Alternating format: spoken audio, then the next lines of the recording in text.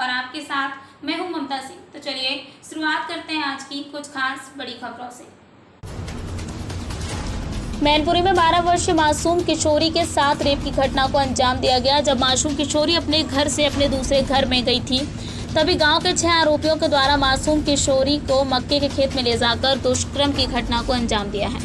परिजनों ने मासूम किशोरी की काफ़ी तलाश की, लेकिन काफ़ी देर बाद मासूम किशोरी खून से लथपथ मक्के के खेत में पड़ी मिली थी।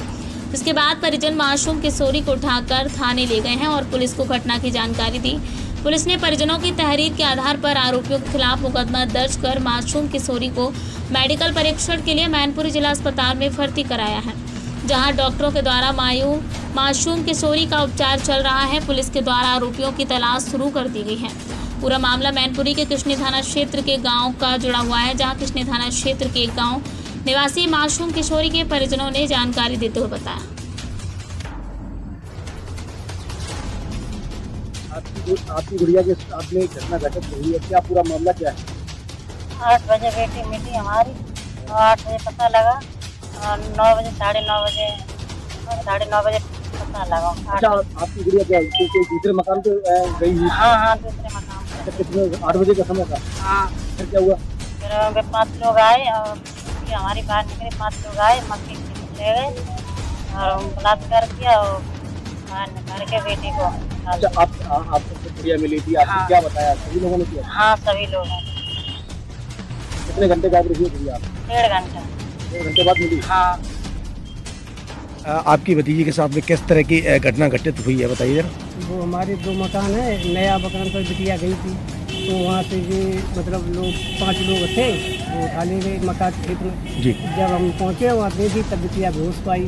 तो वहाँ में वो एक सैनोज और मोनू और विनय और पुष्पैन। और लालू।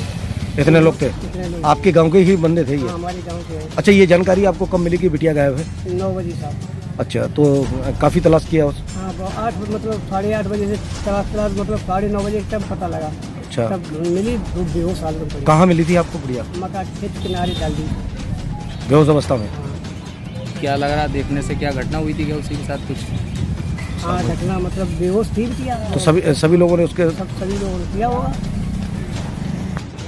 सर ये नाबालिग के साथ एक दुष्कर्म का मामला है क्या है सर? पूरा मामला किसनी थाना अंतर्गत एक नाबालिग बालिका के साथ दुराचार की घटना की शिकायत थाने को प्राप्त हुई। पुलिस द्वारा पीड़िता का मेडिकल कराया गया, साथ ही परिजनों की तहरीर के आधार पर छह व्यक्तियों के विरुद्ध अभियोग पंजीकृत किया गया। एक व्यक्ति की इसको हिरासत में लिया गया है। एक के अंतर्गत बयान कराने के पश्चात जो भी वांछित कार्रवाई होगी, तत्परता तो से की जाएगी। छोटे से ब्रेक का ब्रेक के बाद फिर से हाजिर होंगे। ऐसी कुछ खास बड़ी खबरों के साथ। तब तक के लिए